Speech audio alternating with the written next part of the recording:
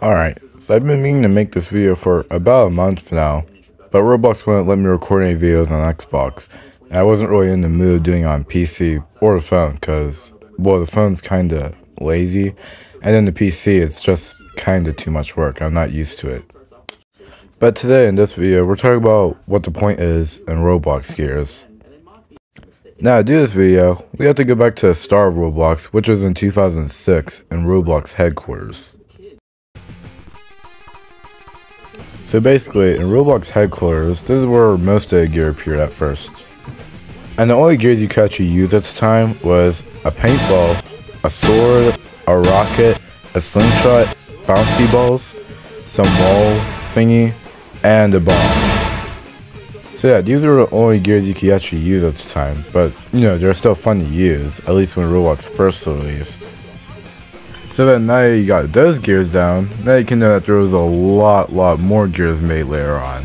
So then now we're going to move on to Catalog Heaven. So then there's Catalog Heaven, made in 2013. Now Catalog Heaven was basically like a free admin game, kinda. Except you could use every single gear you want, besides from the elite gears and the VIP gears. And that was really it. All you did is just pick some gears, kill some people, then that's really all you did in there. Now, out of all the Roblox games that are out right now, this is probably the only game you can actually use classic gears in, since most other games already have custom gears in them, or just custom animations for their custom weapons they have in that in those games.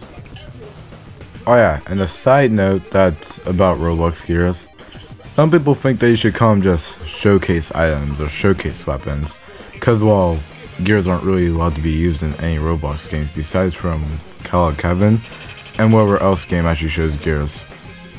So now that we talked about Catalog Heaven, we can move on to the next game again, which would be Murder Mystery 2, for some reason. I'll explain it later.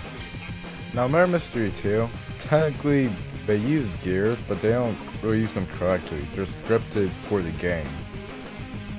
So, Murder Mystery 2, there's an innocent sheriff for murder. We're only going to talk about sheriff for murder and your weapons specifically. So you have the sheriff, which just shoots the murderer, and that's it. And you can tell they use the uh, revolver gear, but it's just, you know, you can reskin it a few times. You can even see it in the corner. And, you know, all you do with the revolver is just, you shoot the murderer, which I clearly failed to, and that's it, you win.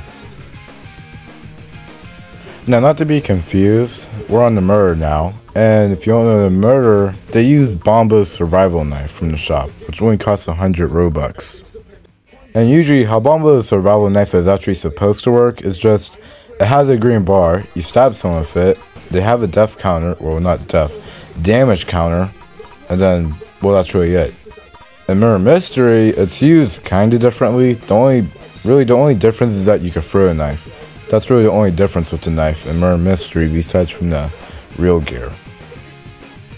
So then we go back to the question, what's the point of Roblox gears anymore?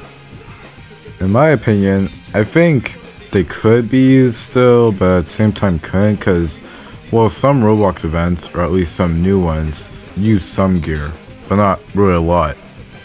And the last time Roblox actually created a gear was back in 2020 in the Roblox Egg Hunt in 2020.